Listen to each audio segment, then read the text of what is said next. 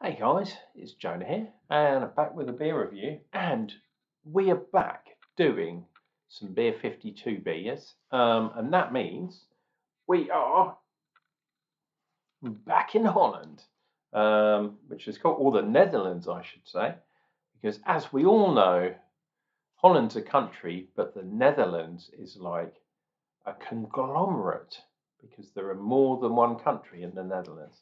Did you know that? Okay, so this, brewery, as you can see from down here, down there, it's called Oedipus. And when I heard that I was going to be reviewing a beer from a brewery called Oedipus, you know what the first thing that I thought was? Motherfucker. Um, and this one's called Polyamorie. It's a mango sour at 5%. And look at that, it is proper trip out. Um, and if we look here, it's an orgy of Berliner Weiss, pale ale, and mango. Mango mofo. So, yeah, it's a Berliner Weiss um, style of beer with pale ale, American hops, and I'll come to that in a minute and mango, which has kind of soured the whole thing. Absolutely ridiculous. Anyway, if we look in here at the spider diagram, we have got quite a hoppy beer, a very fruity beer. And then if we look down here, we've got some hops, which are Citra Mosaic, Amarillo, and Simcoe. Um, from Amsterdam, so definitely Holland. And I believe the one thing that makes this a Berliner Weiss, obviously, is the malt bill, but also I suspect the yeast that they've used as well. I haven't even started drinking yet. Oh, the other thing is, look at that. Oedipus. It's pretty trippy. Probably won't focus, but uh, oh, there we go. It's got their logo. And I do have another beer um, from Oedipus.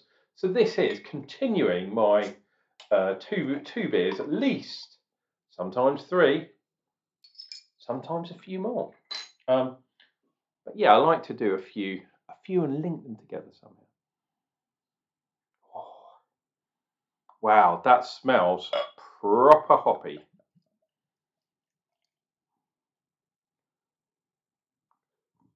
I have to say, it does not look, coming from the bottle,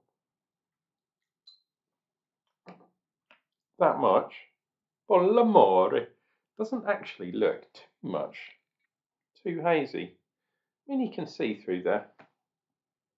That doesn't really look like a Berliner Weiss to me. It's um, it's not milky enough. Um, head-wise, bit lacking too. Nice white head, but probably what a quarter of a finger, something along those lines. Now this is where things are really going to shine, I think.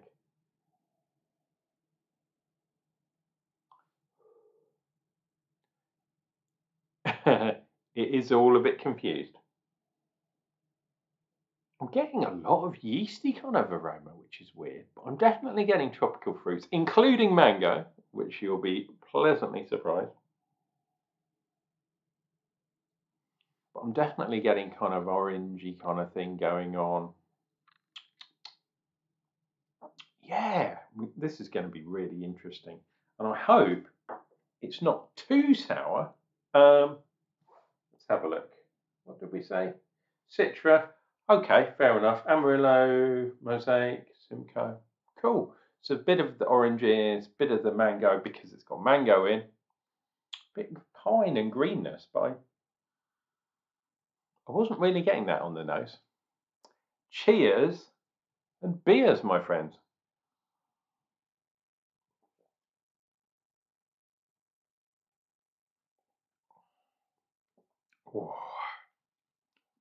Wow. Nice and crisp up front, then followed by that sourness. But it's not that sour. There's not a residual sourness.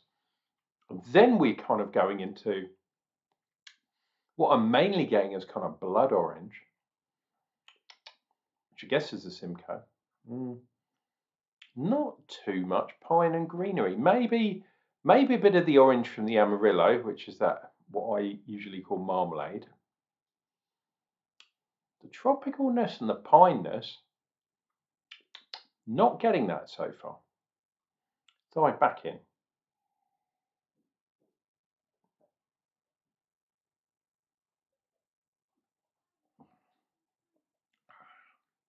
Wow.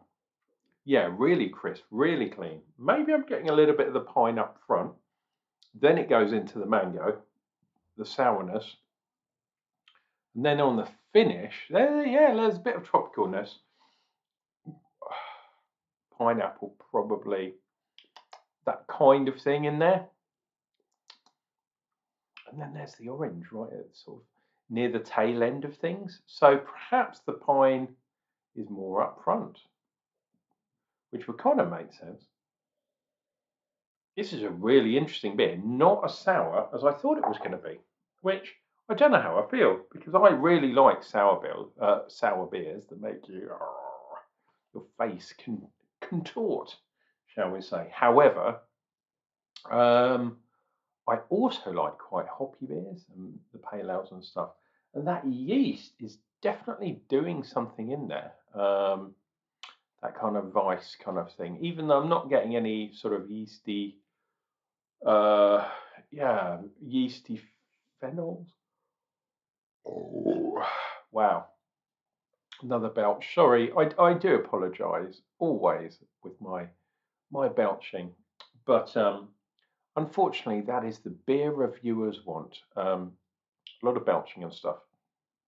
Now, yes, while I'm chatting shit, as I usually do, uh, yeah, got some good news. I think I am going to the GBBF on the trade day this year. I put my name in the hat um, for some tickets, which are essentially free, which is brilliant. Um, but you have to prove um, that you are, you know, in the industry, in the trade. Um, wow. And I put my name down as beer reviewer because that is what I am. So please, please click like on this video to uh, to prove to the GBBF that I'm getting uh, people watching my videos, which is always a really fantastic thing. Um, and essentially, that means I will be going this year, um, which also is on my birthday, which is the 2nd of August. So you can all wish me a happy birthday nearer the time.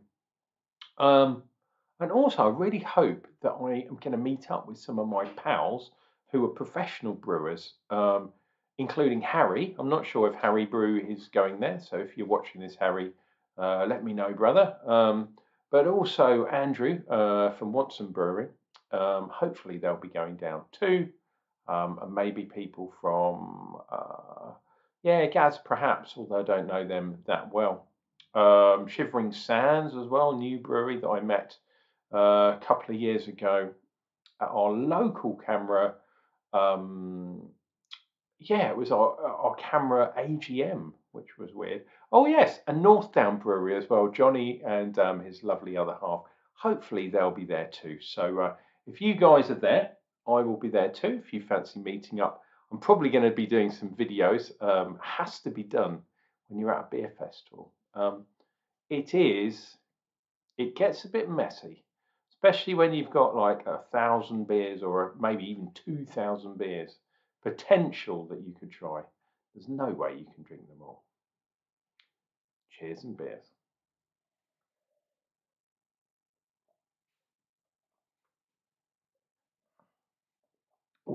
what will the beer of the year be? Um, bearing in mind it's a cask uh, festival usually, although they've been getting into polypins and things like that um, of late. So maybe, you know, Tiny Rebel, Northdown, you never know. They're pretty doing pretty well. Or someone along those lines, Vocation, Siren, all the big hitters um, yeah, on. Anyway, guys,